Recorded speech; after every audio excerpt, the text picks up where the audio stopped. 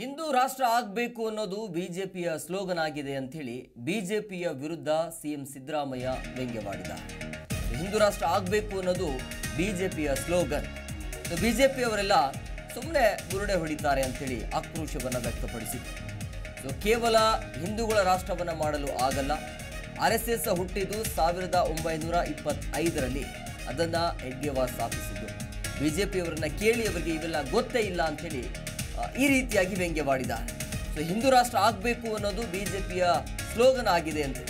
ಬಿಜೆಪಿಯವರೆಲ್ಲ ಸುಮ್ಮನೆ ಬುರುಡೆ ಹೊಡಿತಾರೆ, ಯಾವುದೇ ರೀತಿಯಾಗಿ ಸತ್ಯಾಂಶ ಇರೋದಿಲ್ಲ ಅಂತ ಅಂಥೇಳಿ ಪಿಯ ವಿರುದ್ಧ ಗದಗದ ಸಿ ಎಂ ಸಿದ್ದರಾಮಯ್ಯ ವ್ಯಂಗ್ಯವಾಡಿದ ಕೇವಲ ಹಿಂದೂಗಳ ರಾಷ್ಟ್ರವನ್ನು ಮಾಡಲು ಆಗಲ್ಲ, ಆರ್ ಎಸ್ ಎಸ್ ಹುಟ್ಟಿದ್ದು ಸಾವಿರದ ಒಂಬೈನೂರ ಇಪ್ಪತ್ತೈದರಲ್ಲಿ ಅದನ್ನು ಸ್ಥಾಪಿಸಿದ್ದು ಹೆಡ್ಗೇವಾರ್. ಬಿಜೆಪಿಯವರನ್ನು ಕೇಳಿ ಇದೆಲ್ಲವೂ ಕೂಡ ಅವರಿಗೆ ಗೊತ್ತೇ ಇರೋದಿಲ್ಲ ಅಂಥೇಳಿ ಹೇಳಿದ್ದಾರೆ. ಶ್ರೀರಾಮ ಮಂದಿರ ಉಳಿಯಬೇಕು ಅಂದರೆ ಹಿಂದೂ ರಾಷ್ಟ್ರ ಆಗಬೇಕು ಅನ್ನುವಂಥ ವಿಚಾರವಾಗಿ ಕೂಡ ಮಾತನಾಡಿದರು. ಸೊ ಈ ಸಂದರ್ಭದಲ್ಲಿ, ಅಂದರೆ ಉಡುಪಿ ಮಠದ ಪೇಜಾವರ ಶ್ರೀಗಳ ಹೇಳಿಕೆ ವಿಚಾರವಾಗಿ ಪ್ರಶ್ನೆ ಕೇಳ್ತಾ ಇದ್ದಂಗೆ ಸಿ ಎಂ ಸಿದ್ದರಾಮಯ್ಯವರು ಕೂಡ ಕೆಂಡಾಮಂಡಲರಾದರು.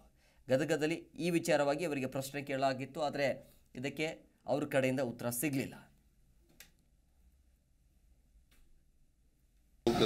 ಬಿಜೆಪಿಯವ್ರದ್ದು ಹಿಂದೂ ರಾಷ್ಟ್ರ ಆಗಬೇಕು ಅಂತ ಹೇಳಯ್ಯ ಗೊತ್ತಿಲ್ಲೇ ಸುಮ್ಮನೆ ಪ್ರಶ್ನೆ ಕೇಳಿದ್ರೆ ಏಯ್ ಯಾರ್ದಷ್ಟು ಹೇಳ್ರಿ ಜನಸಂಘ ಯಾವಾಗ ಪ್ರಾರಂಭ ಆಯ್ತು ಗೊತ್ತಾ? Do you know when it was started Jana Sangh start ಕೇಳಪ್ಪ ಇಲ್ಲಿ, ಜನಸಂಘ ಪ್ರಾರಂಭ ಆದದ್ದು ಸಾವಿರದ ಒಂಬೈನೂರ ಐವತ್ತನೇ ಇಸ್ವಿ. ಐವತ್ತನೇ ಇಸ್ವಿನಲ್ಲೇ ಹೇಳಿದ್ರು, ಹಿಂದೂ ರಾಷ್ಟ್ರ ಮಾಡ್ತೀವಿ ನಮ್ಮ ದೇಶ ಬರೀ ಹಿಂದೂಗಳ ರಾಷ್ಟ್ರ ಅಲ್ಲ. ಬರೀ ಹಿಂದೂಗಳೇ ಇಲ್ಲ, ನಮ್ಮ ಸಮಾಜದಲ್ಲಿ ಕ್ರಿಶ್ಚಿಯನ್ರು ಇದ್ದಾರೆ, ಮುಸಲ್ಮಾನರು ಇದ್ದಾರೆ, ಸಿಖ್ರು ಇದ್ದಾರೆ, ಬೌದ್ಧರು ಇದ್ದಾರೆ, ಜೈನರು ಇದ್ದಾರೆ, ಮುಸಲ್ಮಾನರು ಇದ್ದಾರೆ ಎಲ್ಲರೂ ಇದ್ದಾರೆ.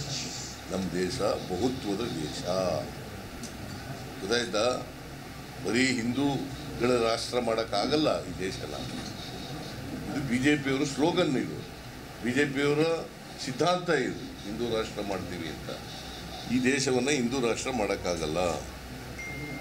ಗೊತ್ತಾಯ್ತಾ ಇದು ಮೊದಲು ಸಾವಿರದ ಒಂಬೈನೂರ ಐವತ್ತನೇ ಇಸ್ವಿಯಿಂದ ಹೇಳ್ತಾ ಇದ್ದಾರೆ. ಆರ್ ಎಸ್ ಎಸ್ ಹುಟ್ಟಿದ್ದು ಯಾವಾಗ ಗೊತ್ತಾ? ಸಾವಿರದ ಒಂಬೈನೂರ ಇಪ್ಪತ್ತೈದನೇ ಇಸ್ವಿ. ತಿಳ್ಕೊ. ಆರ್ ಎಸ್ ಎಸ್ ಹುಟ್ಟಿದ್ದು ಸಾವಿರದ ಒಂಬೈನೂರ ಇಪ್ಪತ್ತೈದು. ಎಡ್ಗೆ ವಾರ್ ಗೊತ್ತಾ? ಪ್ರತಿಕ್ಷಣದ ಸುದ್ದಿಗಾಗಿ Zee Kannada news app download ಮಾಡಿ. Live TV latest updates entertainment lifestyle technology ಸುದ್ದಿ ನಿಮ್ಮ ಅಂಗೈಯಲ್ಲಿ.